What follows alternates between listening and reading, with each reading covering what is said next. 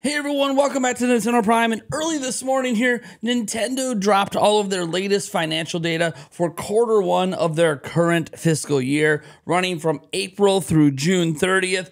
And my lord, guys, we spent a lot of time lately talking about that next generation system, but we should spend a lot more time talking about the current generation system because Nintendo Switch just had its best first quarter of all time and yes, it's largely thanks to well, that Zelda game. But you know what? Don't believe me. Let's hop right into it.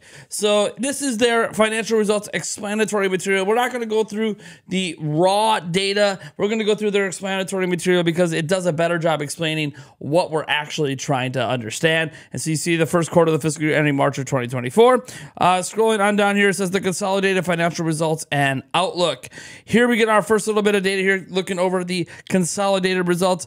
And there's a, a few things to note here. Obviously, the net sales, the operating profit, the ordinary profit, the net profit, net profit ratio. What you want to notice over here is the comparison to quarter one of fiscal year 23. When you look over here, everything plus 50%, plus 82, plus 7, plus 52, plus 52, and plus 0.5 of a percent. This is a, just literally a net massive gain across the board for Nintendo year over year. And it points it over here, we're saying year on year net sales for the first quarter of the fiscal increased by 50% to 40, 461.3 billion yen, etc., etc., etc. Let's just put it this way Nintendo's dominating. Okay, this is just the raw numbers at the end of the day. But let's get into why they're dominating. So first off, we have the consolidated sales data here split up into a pie chart. What I like about this pie chart is says the portion of sales outside of Japan is 80%. And this really breaks it down for you. If you ever were wondering how, where does Nintendo sell the most stuff, well, Japan makes up 20% of their sales, but the Americas, this is North and South America, make up 44.6%. Europe makes up 22.9, and the rest of the world makes up 12.5%. That's the biggest thing uh, to get here. You can also see that Nintendo's been making a smidge of profit on playing cards, etc. Uh, I think this might just be I don't know, maybe Legos or something. But anyways, they are making a smidge of profit and obviously a massive increase. So there is that dedicated video game platform, mobile IP related income, et cetera, et cetera, et cetera. All right. Um, what's interesting here is in the mobile IP and related business, overall sales rose 190.1% year on year, 31.8 billion yen, bolstered by an increase in income from royalties and income from the visual content related to the Super Mario Bros. movie. So you're seeing the first impact of the Mario's Bro movie right here. Now here we get to our gross profit, again up 52.3%. Uh, so that's really, really good. As we get down in here, we see some information on this. Although the proportion of hardware sales declined and the proportion of first-party software sales increased, our gross profit margin remained the same level year on year. This was due in part to the lower proportion of digital sales and Nintendo Switch OLED model, which has a lower profit margin than the other models of the Switch family systems, accounting for a greater percentage of hardware sales. So what they're saying is, even though all the numbers look positive in many sense, the you're still seeing some negatives in here, and that's because digital sales are down and uh, like percentage wise, and the OLED sales are up, but OLED doesn't make as much profit as their other platforms. So that's making up that discrepancy. As we go down in here, in selling and administrative expenses, this is just how much it costs to run the company, and it's pretty uh, pretty standard here. You are seeing an increase here in the research and development expenses. This is something I always like to point out because this is the kind of money Nintendo's investing in future video games and also investing in future hardware. So it's always you know when you start to see these increases, and again We've seen a lot of them recently. It tends to indicate Nintendo has something cooking. We know what they have cooking. We know there's a device coming, but I just wanted to point that out. Uh, the rest of those numbers don't matter too much to us, but we do have a look at their ordinary profit and their net profit. This is obviously the most important part. Their net profit, uh, while up, the profit ratio is only up half a percentage point. So, yeah, they're making a lot more money, but the ratio changes because of different factors uh, that only Nintendo could really fully explain.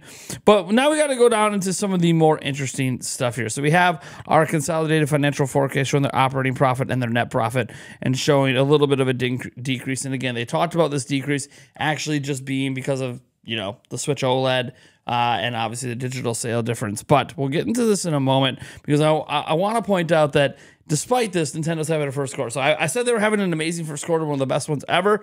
That doesn't mean that that's how the numbers are always going to play out because when it comes to pure profitability, there are other ways to make more profit while selling less. Now, the first quarter of the fiscal year, both sales and profits were notably large for a first quarter, mainly due to the concurrent releases of the Super Mario Bros. movie and Zelda Tears of the Kingdom. Yeah, basically, they dominated. Those two things carried Nintendo. So get into our business highlights, and now the fun begins. We have the sales status of Nintendo Switch, which is sell in. Now, notably, sell in does not mean sold to consumer. That is what sell through means, and we're going to see that number later. But you're going to see a big number jumping out right now 18 0.51 million units of Tears of the Kingdom have been sold in through June 30th. Again, the difference is for Nintendo's purposes, sell in is a sale, sell through is what a lot of us view as sales. So, sell in is this is what they have sold to retailers, and then sell through is what we have actually purchased. Now, why does this matter? And why does Nintendo care more about sell in? Because sell in means Nintendo has already made their money on 18.51 million. So that just means there's you know, as we're going to find out later, it's actually more like 15 million that have actually sold through. That's because there's a few million sitting on store shelves worldwide at the end of June. Those are probably gone by now, but the point is that sell in is what Nintendo cares the most about. And that's 18.51 million, which is just earth shattering. Uh, you can also see the same thing here with hardware 3.91 million, which is ahead of last year. And you can see the massive increase here with the Switch OLED model compared to a year ago at 86%. Um, and that's probably due to the Zelda Special Edition OLED. If I had to really just stick a number on why the hell is the OLED increasing that much? Well, there was a Special Edition Zelda one you see those Zelda sales. That's insane. The only other million unit seller during the fiscal quarter was actually Mario Kart 8 Deluxe of 1.67 million units. We're actually going to give a look at the full top 10 software sales update here in a little bit. So they had 2 million sellers in that time period. And then you can see the quarterly trends here. Uh, obviously, you always see this peak in Q3. Q3 is always the biggest because that is the holiday season. Uh, but yeah, this is really, really good. And you can see this increase in overall Switch sales in comparison to quarter one of fiscal year 2023. So it says unit sales for the entire Switch family of systems rose by 13.9% year on year. The new title, Legend of Zelda Tears of the Kingdom, sold 18.5 million units in the quarter, which not only significantly increased software unit sales, but also drove hardware sales, thanks in part to the theatrical release of the Mario Bros. movie and promotions tied to that movie. Sales of Mario Kart 8 Deluxe and other Mario related titles also posted solid sales. Now, here we're seeing Nintendo hardware sell through and annual playing users. So there's a couple, like, they show a couple bar graphs here. Some big things to note are this number here. This is the annual playing users. So what this means is people who have logged into their Switch at least one time in the last year and played a game is at 116 million. That is damn. All you could really say is damn. 116 million active users is an insane number. If you think about it, there's only 130 million Switches sold. Yeah, that is that's a lot. That's a lot. Uh, anyways, you guys obviously the global sell through and the increase in the OLED sales here. Obviously, holiday period, and then you know, hey, it is what it is. Uh, so, so far we have been talking about sell in or unit sales by Nintendo Group, its business partners. Now let's turn the discussion to sell through, which is the number of units purchased by consumers and to the number of number of accounts that have opened software on Nintendo Switch. The graph on the left, which we showed up here, that's this graph right here, uh, shows global hardware sell through from April through June. Global hardware sell through in the first quarter increased compared to the same quarter last fiscal year, helped by sales of the Nintendo Switch OLED model, including the Nintendo Switch OLED model Legend of Zelda Tears of the Kingdom edition, which launched at the end of April. On a region by region basis, sale sell in declined in Europe and the Americas compared to the same period last fiscal year, but sell through increased for all regions, including Europe and the Americas. So basically, they shipped more units last year but they sold through more units this year. Again, this is where you play with the numbers. Technically, that means they made more money last year than this year. But yeah, you just Again, numbers are fun, aren't they? And the way you could twist them to be negative or positive. Anyways, the graph on the right shows the trend in the number of annual player playing users for Nintendo Switch. Number of annual playing users from July 2022 to June 2023 was the highest ever, exceeding 116 million. And this is a big key number for Nintendo because that's how that's how many active users they have.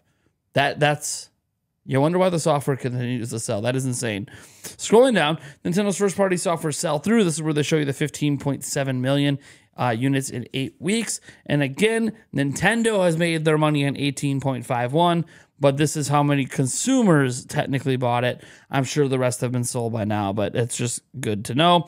Now, so now let's move on to a discussion of sell through of first party software. Global sell through of first party software this quarter reached the highest level for a first quarter since the launch of Nintendo Switch. The Legend of Zelda Tears of the Kingdom, which released on May 12th, has made a major contribution. We're about to drop a really neat stat here.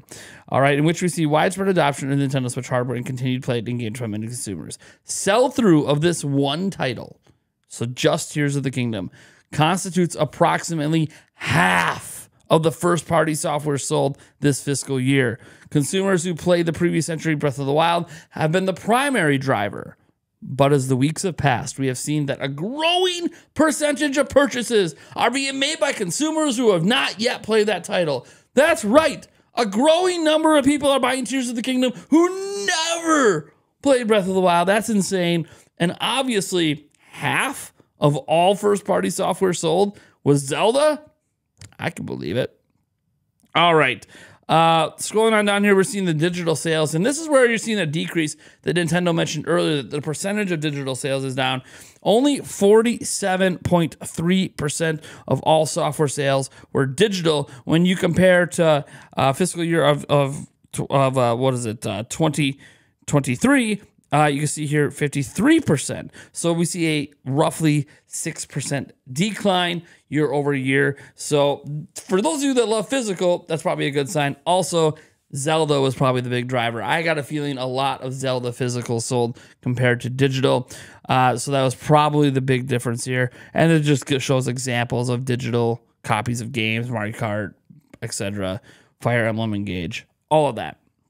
Let's get to what they say down here. Digital sales during the first quarter increased by 35.9% year on year to 119 billion yen and accounted for 47.3% of total software sales for our dedicated video game platform. Now, growth, they're talking about overall profit because while a smaller percentage was sold, a larger amount of total games was sold. See, balancing act. This is what they teach you when you take a statistics class. Very easy to manipulate statistics to say negative or positive things. Anyway, several factors contributed to the increase in digital sales and depreciation of the yen, and foreign exchange markets increased the sale amounts when converted to yen. In addition, the downloadable versions of packaged software for Nintendo Switch, like The Legend of Zelda Tears of the Kingdom, sold well, and sales related to Nintendo Switch Online increased.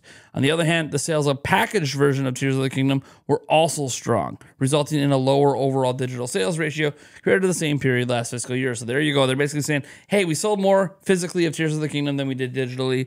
That's basically the big contributing factor on why it's down by 6% in terms of the digital to physical sales split. Um, and then they go over these example of announced products for 2023. Obviously, we already have Pikmin 4, but a nice reminder we got, what is this, uh, Detective Pikachu 2 or whatever coming out here on October 6th. Then we have uh, Mario Bros. Wonder October 20th, November 3rd. Uh, we have the WarioWare Move It. And we can't forget about November 17th, the Super Mario RPG. We still have the Wave 6 of the DLC to come. And then they have uh, Part 1 and Part 2 planned for release in the winter. This is the Scarlet and Violet DLC. So the Nintendo products are already announced for release in 2023. We don't need to go back over um, all of this list because this is just exactly what we talked about. Now, when we come down here, we get some information on the Mario movie. So it says the Super Mario Bros. movie box office went 168 0.1 million viewers at the box office, which is insane. That put the revenue at one point three four nine billion dollars, the highest ever for an original film based on a video game, and the second highest for an animated film. Viewed by people of all ages, not only in Japan, North America, Europe, and Australia, but also in South America and Asia. And they expanded outside the dedicated video game platform business to create new opportunities to encounter Nintendo IP, reinvigorating their overall business. Uh, so that is just really, really awesome. And this is just kind of recapping everything we just said. Uh, so it said the heightened consumer interest in Mario is having a positive effect on a wide range of fields, including growing sales of Mario related titles and sales of smart device apps and merchandise. And by expanding the IP outside of areas dedicated video game platform, we create new opportunities for consumers to encounter Nintendo IP. And this does invigorate the overall business. And they're going to continue to basically do that moving forward. So they're going to be having more and more movies, essentially. Um, now we get to the million seller first party titles here. We already went over this earlier. It's Legend of Zelda and Mario Kart 8 Deluxe for the quarter. Uh, there's one big thing I still want to show you in this particular file, and that is this thing, right? Is this the one? Nope. Uh, nope. It is. Hold on. Here it is. Uh, I don't know how well you guys can see this. So this just tells you all the games that are already announced, right? So we went through over most of them. We got to add like Luigi's Mansion and Metroid Prime 4 Also, we got to add this title. I know the text is really small for you guys, so I'm just going to read it here. It says Princess Peach will star as the main character in a brand new game temporary title. That's right. At the moment, the official title of that Peach game is Princess Peach will star as the main character in a brand new game. I've never seen Nintendo list a game like that. Yeah, we get lots of temporary titles. But that's the temporary title for the Peach game. Princess Peach will star as the main character in a brand new game. I don't know. I find it funny. Maybe it's really not that funny, but it is to me. Now, I wanted to get into this, and of note, Nintendo Switch itself is at 129.5 million units. But what I really wanted to get down to is into the top 10 selling software in the sales update. So, Mario Kart 8 Deluxe is now at 55.46 million units. Uh, Animal Crossing New Horizons is at 42.79 million units. Super Smash Bros. is now at 31.77 million. The Legend of Zelda Breath of the Wild has now officially crossed 30 million on just the Nintendo Switch at 30.65 million million. Mario Odyssey is in there at 26.44 million. Pokemon Sword and Shield is sitting pretty at 25.92 million. Pokemon Scarlet and Pokemon Violet are at 22.6 million. And by the way, very, very close. The next financial update should have this officially as the third best selling Pokemon game of all time, and only really time is going to tell if it could pass Pokemon Sword and Shield. Super Mario Party is at 19.39 million. There's Tears of the Kingdom chiming in uh, at 18.51. And then we have New Super Mario Bros. U Deluxe at 16.17. By the way, people are wondering what the other Mario Party game is. It did cross 10 million in total sales. So Mario Party Superstars, obviously that's about half the sales of Super Mario Party, but that does make it the second best selling game in the franchise, while Super Mario Party is the best selling Mario Party game of all time. So what did we learn from all this? A whole lot of sales data. Nintendo is doing really, really well of course, that's what happens when you drop a big kahuna game like Zelda. Now, some people, uh, analysts, have gone out there and said that Nintendo needs to change their projections and make them go higher. And Nintendo did have a note in the one file I didn't show you where they said they are not changing their projections. And I think I understand why. They knew Zelda was going to do numbers, they knew it was going to do astronomical numbers. They probably had these numbers already projected into their sales data. So I don't know that Nintendo is surprised that they had this amazing first quarter. I think they just know nothing else this fiscal year is coming out that is as important as this game. I know Mario Wonder could do some good sales, but I don't know that that's going to push units. So I do feel that they just knew this Zelda period was going to be special and they're not changing their projections on sales because they just know nothing's going to do what Zelda just did. They don't have another game that massive coming out between now and the end of the fiscal year. So they're just keeping their projections where they are because the Switch is performing as expected. But 18.51 million. Can you believe it, man.